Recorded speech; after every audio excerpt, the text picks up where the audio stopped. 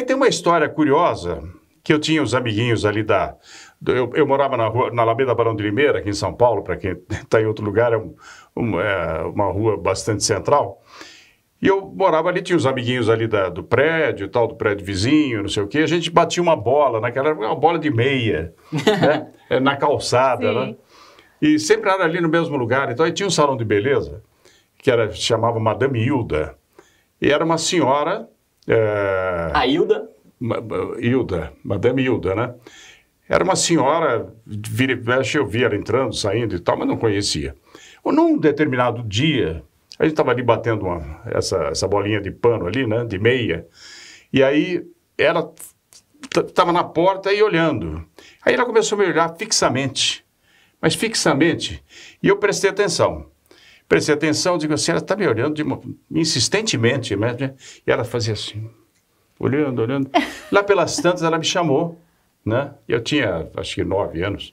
Ela me chamou, eu, eu o que é, né? Ela disse assim, eu estou vendo que você vai ser ator. Eu vou tá ser brincando? ator? É. Então você vai ser ator de cinema. De cinema é tudo que eu quero na vida. Então você vai conseguir o que você quer. Porque eu estou vendo, eu estou prevendo que você vai ser ator.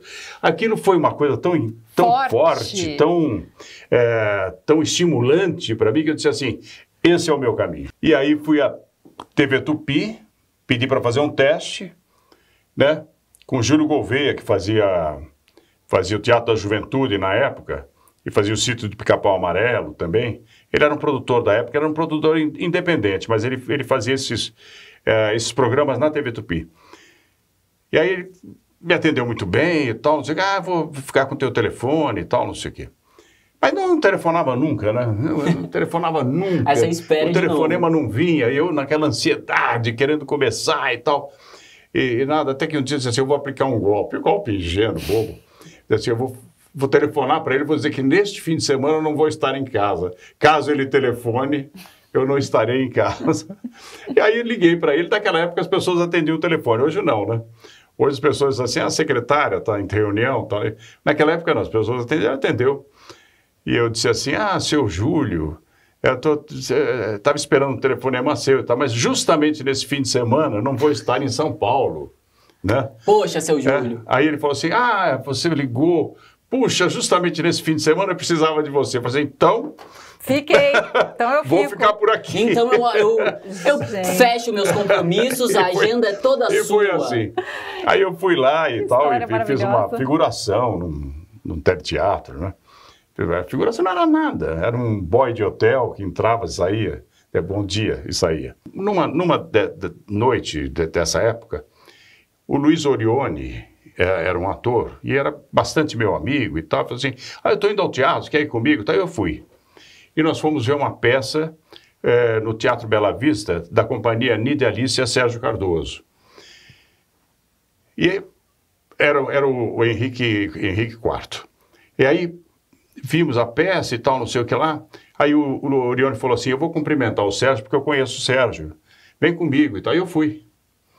Fomos até o camarim do Sérgio e tal. E ele cumprimentou e me apresentou. E aí, você assim, ah, é, o Fulvio também é um ator que está começando. É, estou começando agora, tenho muita vontade de ser ator. Aí o Sérgio me deu uma olhada, assim, ficou assim. Olha, eu tenho uma peça que se eu fizer, se eu fizer, eu quero que você faça um teste. É um papel pequeno, mas eu, o seu tipo está perfeito para o que eu estou pretendendo. Se eu vier a fazer a peça, né, eu te procuro. Ah, ótimo, obrigado. Tal. E ficou por isso mesmo. Uma noite, eu estou passando pelo corredor da Tupi, né, que era um corredor comprido, que ia até, até a, a porta, né? E tinha uma portaria no meio, uma, uma, um balcãozinho de recepção ali no meio. Ficava uma pessoa ali. Nessa noite, ele já tinha ido embora, porque era tarde, era depois de 10 da noite. Eu saí de um programa onde eu tinha feito figuração e estava indo embora para minha casa. Aquele corredor vazio. Eu andando ali, de repente o telefone começa a tocar. Eu nunca tinha atendido aquele telefone, nunca tinha falado naquele telefone. Nem tinha visto daí. Não existia para mim aquele telefone.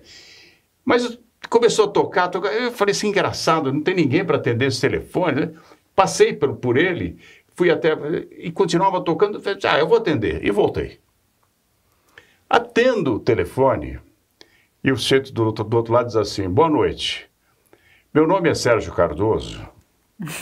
Eu estou é, querendo falar com um ator que está começando aí a carreira e tal, mas eu não tenho como encontrar. Ele se chama Fulvio Stefanini. Ah, não, Fulvio. Aí eu falei assim: Sou, eu. Pois que eu estou aqui e te atendo. Sou eu. Diga, querido. Aí ele falou: Eu não acredito. Mas é isso. Poxa, que coincidência e tal, não sei o quê. Lembra que eu te falei de uma peça? Lembro, claro que eu lembro, não podia esquecer. Aí ele disse assim: então eu queria fazer um teste com você no- amanhã. No dia seguinte eu fui lá no Teatro Bela Vista, fiz o teste, fui aprovado e foi minha primeira aparição no teatro profissional.